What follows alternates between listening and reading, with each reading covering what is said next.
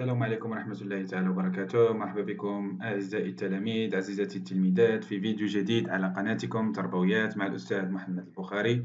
الفيديو كيجي بشكل مستعجل بعد بلاغ وزارة التربية الوطنية والتكوين المهني والتعليم العالي والبحث العلمي بعنوان انطلاق عملية الترشيح لولوج المراكز العمومية للأقسام التحضيرية للمدارس العليا. إذن فيديو برعاية قناة تربويات مع الأستاذ محمد البخاري. قم معايا باش نعرفوا الحيثيات ديال الموضوع. إذا هذا هو البلاغ الإخباري الذي صدر يومه الثلاثاء الثاني من يونيو 2020 بموضوع انطلاق عملية الترشيح لولوج المراكز العمومية للأقسام التحضيرية للمدارس العليا. إذا هي مباراة المدارس العليا. وبالضبط الأقسام التحضيرية أي عملية الترشيح لولوج هذه المراكز. إذا سنتعرف على كل هذه الأمور التي جاء بها البلاغ الإخباري. قم معي إذا مدة التسجيل.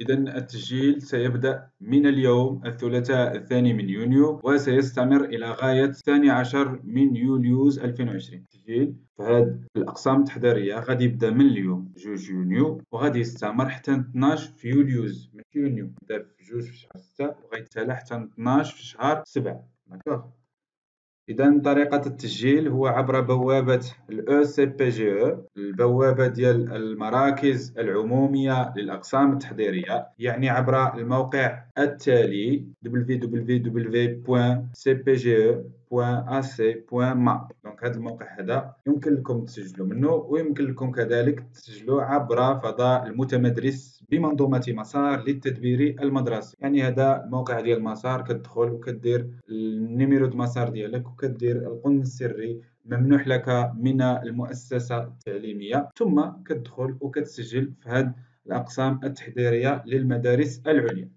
بالنسبة لشروط الترشيح كما جاء البلاغ في نصه كالتالي ويفتح باب الترشيح لولوج السنة الأولى من الأقسام التحضيرية للمدارس العليا بعد إجراء عملية الانتقاء اعتمادا على نتائج البكالوريا. دونك الانتقاء باش تدخل السنة الأولى من الأقسام التحضيرية للمدارس العليا يتم بعد إعلان نتائج البكالوريا يعني المترشحون متوفرون على الشروط الآتية.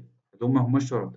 أن يكون المترشح قد تابع دراسته بالسنة الثانية بكالوريا خلال السنة الدراسية 2019-2020 يعني اللي مقبولين في هذه المباراة هما التلاميذ اللي كيقراو هذا العام في البكالوريا يعني في هذا الموسم الدراسي 2019-2020 الشرط الثاني أن يكون حاصلا على شهادة البكالوريا أو ما يعادلها برسم سنة 2020 يعني البكالوريا اللي غتاخدها غتاخدها برسم سنة 2020 أو لا دبلوم آخر يعادل البكالوريا بسنة كذلك 2020 الشرط الثالث ألا يتجاوز سن المترشح 21 سنة بتاريخ 31 دجنبر 2020 المعنى أنه المترشحين اللي باغيين يدخلوا لهذه الأقسام التحضيرية ما خصوش يكون السن ديالهم يتجاوز 21 سنة. فهم. وتجدر الإشارة إلى أنه سيتم الاقتصار لأول مرة. على الترشيح الإلكتروني دون الحاجة إلى وضع ملف الترشيح في المؤسسة الأصلية. المعنى المعنى أنه هذا العام بسبب الظروف التي يعيشها المغرب بسبب هذا فيروس كورونا يعني قد تقرر وبشكل استثنائي الاعتماد على الترشيح الإلكتروني يعني غير par internet.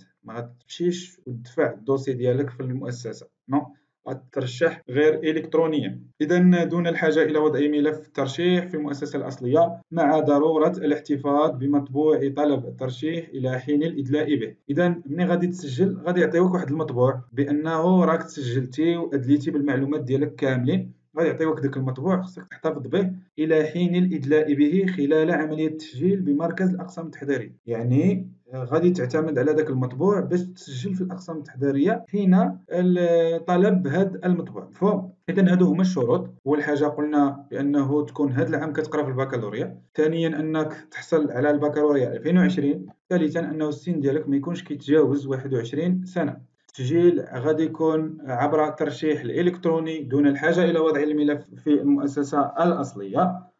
هادشي اللي كاين في هذا الفيديو في الأخير أتمنى لكم النجاح والسداد. كنتمنى أنكم تزيدوا تدعموا القناة بالاشتراك والضغط على زر الجرس لكي يصلكم كل جديد القناة. قناتي تربوية تعليمية كنحط فيها الدروس دروس خاصة بالابتدائي كذلك بالنسبة للإعدادي التوجيه وكذلك النصائح. كان معكم الأستاذ محمد البخاري والسلام عليكم ورحمة الله تعالى وبركاته.